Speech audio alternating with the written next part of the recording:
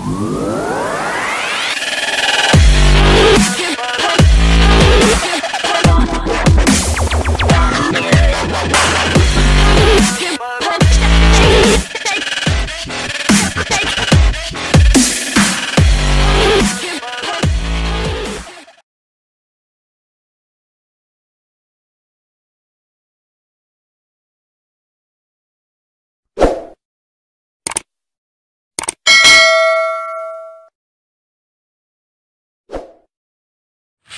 Hi guys!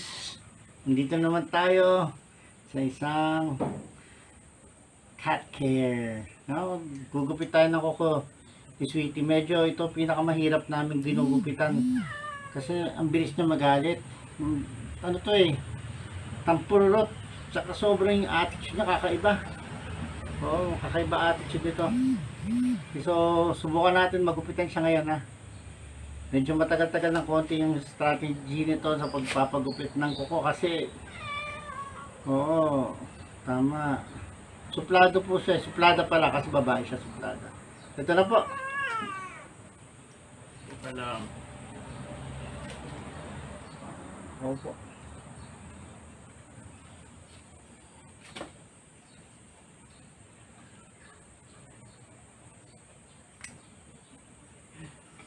Miti, hindi ko siya. Oh, Napansin niyo po, ang hahaba na ng kuko niya po kasi hirapan po talaga kami gupitan siya. Nangangalmot po eh. Ayan. Lahat mabilis po kayo. Gugupit kayo kay Sweetie. Medyo mabilis po kayong hilag. Kasi ang sakit po, nangangalmot po talaga siya eh. Hilang.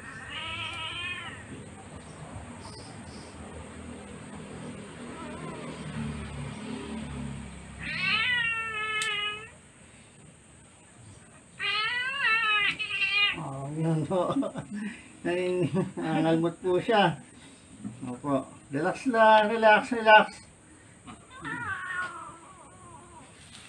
Ganun pa rin.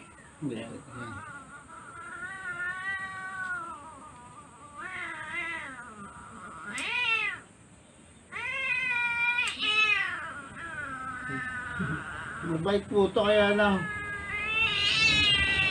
Grabe po mga almot eh. Ayaw magpagupit. Ayaw magpagupit. Sige, ito muna paa mo ha. Gusto mo itong paa mo gupitan natin. Okay. Hmm.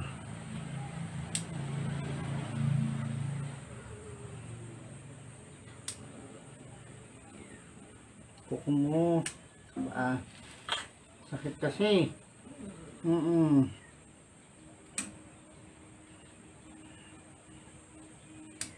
dapat medyo mabilis ho kayo kumilos dito. Pero kahit mabilis dapat ginagamit ng utak kasi baka magkamali ka ng gupit. Pagupit mo yung kulay pink niya dudugo po. Yun po hindi na masakit po. Okay muna kayo pa okay, ito na po ulit balik tayo dito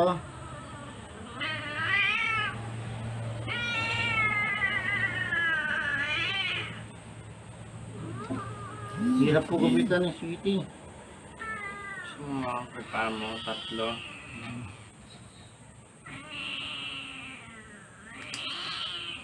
Okay, kabila.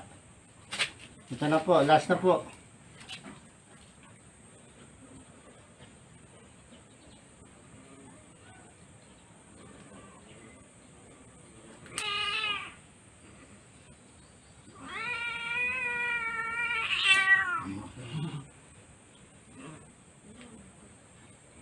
Po. Lahat ng klaseng angulo. Yan.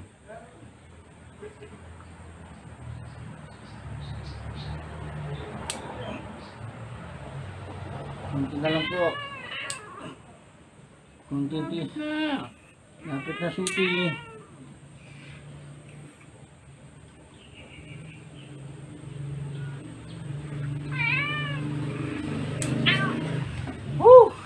Muntik na pero yan, tapos na po.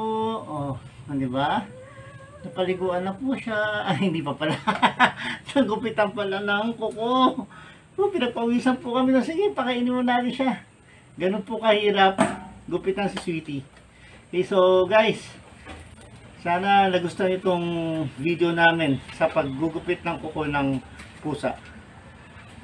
Bye guys!